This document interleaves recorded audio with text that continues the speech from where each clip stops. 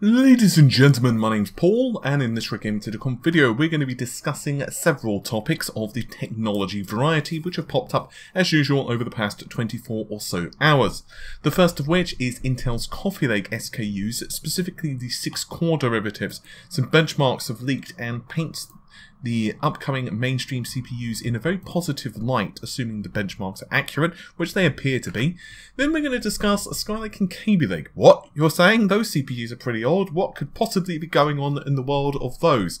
Well, yeah. Uh, basically, there is broken microcode in these CPUs, which is causing issues with hyperthreading. We'll go into that in a minute. And finally, we have some specifications of an Asus laptop which supports a Ryzen 7 1700 processor along with a RX 580.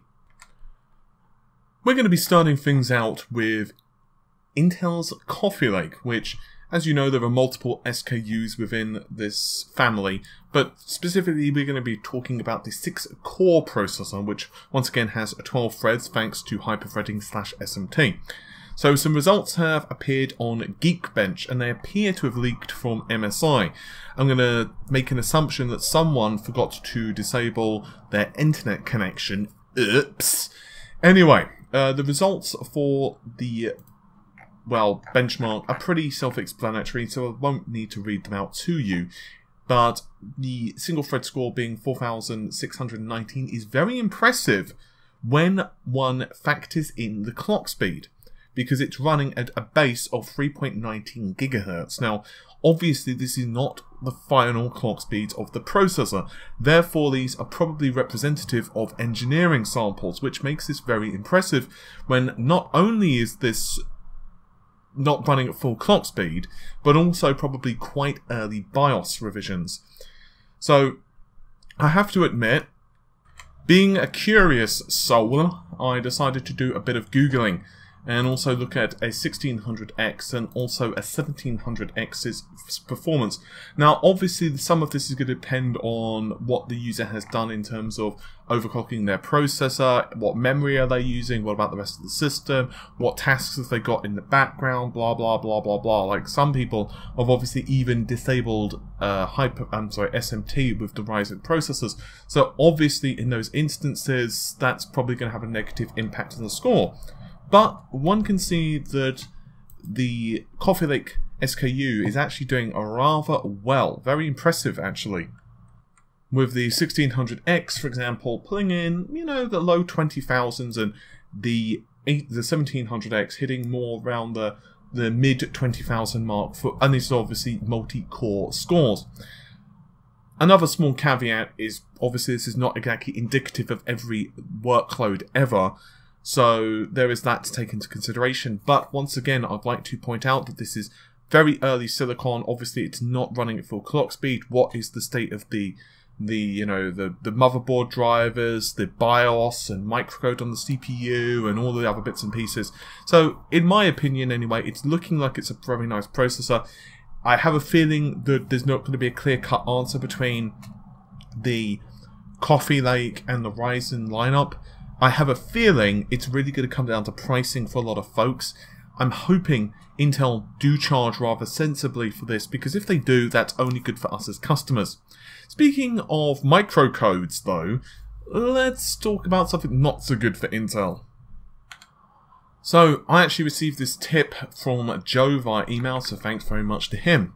And basically, this entails a serious Intel Skylake and Kaby Lake microcode bug. Now, what this basically does is cause errant behavior, their words, not mine, when you are running certain workloads with hyperthreading enabled. I'll read out the advisory um, email, which has come from the Debian.org mailing list. It is saying that I quote, um, when a system is running with uh, hyperthreading with an Intel Skylake or Kaby Lake processor, there could in some such situations be dangerously misbehave when hyperthreading is enabled. And this can cause applications and system misbehavior, data corruption, and data loss.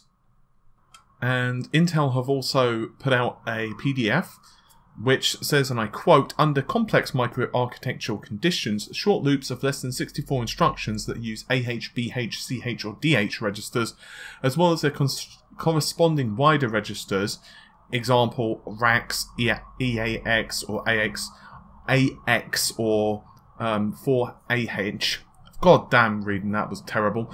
Anyway, may cause unpredictable system behavior. This can only happen when both logical processes of the same physical processor cores are active. Read hyperthreading. Now, I'd like to clear something up because I actually screwed up a little bit myself when I was first reading this from another website. Um, they were actually reporting before I started to do some digging that it was only affecting Debian. But that's not the case. I started to realize that it wasn't drivers or, you know, the actual operating system itself. Instead, it's microcode on the processor. So obviously, when it's microcode on the processor, it isn't so much with the operating system's fault. Therefore, it's probable that this bug could, in theory, creep up in just about any operating system because once again, it's a part of operating system's logic. Uh, sorry, the CPU's logic. It's that that's causing the issue. So what that basically means is that you're to need an update from, well, Intel and wait for a motherboard vendor, your motherboard vendor, to release a BIOS.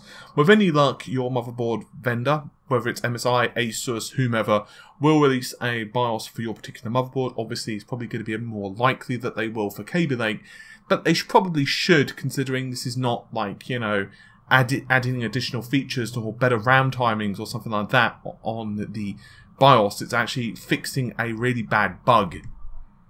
So with anything with any luck at all, they will fix it most speedily.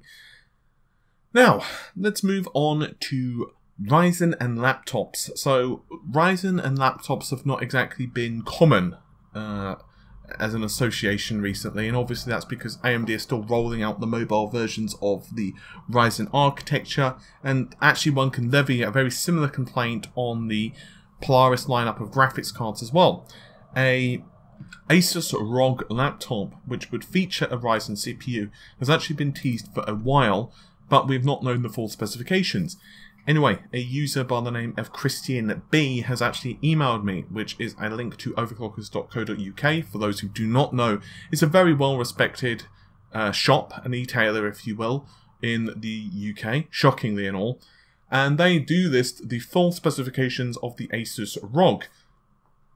I won't read out all of them because, quite frankly, I'll be here for way too long. But you can see that it does come with everything you'd expect with a Ryzen 7. So it comes with a base clock of, uh, sorry, a base clock of 3 GHz with a boost clock of 3.7. This is with a Ryzen 7 1700 and an RX 580 with 4 GB of memory.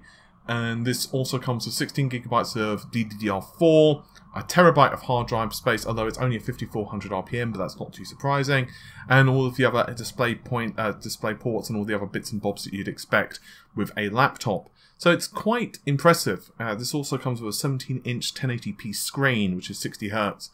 Basically, this laptop is enough to give most desktops a run for their money. Like if you look at the average computer on Steam, for example, what most users are running, this laptop would kick its butt. So that's very impressive indeed.